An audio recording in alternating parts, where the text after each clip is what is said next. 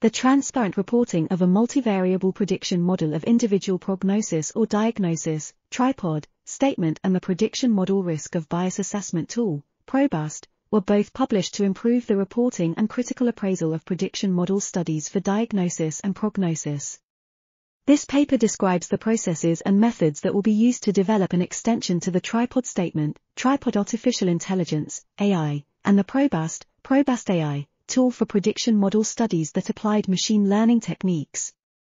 Tripod AI will provide researchers working on prediction model studies based on machine learning with a reporting guideline that can help them report key details that readers need to evaluate the study quality and interpret its findings, potentially reducing research waste.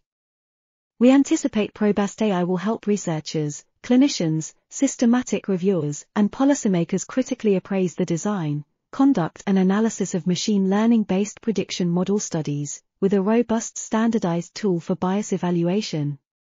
This article was authored by Gary S. Collins, Richard D. Riley, Lily Peng, and others. We are RTCL.TV, links in the description below.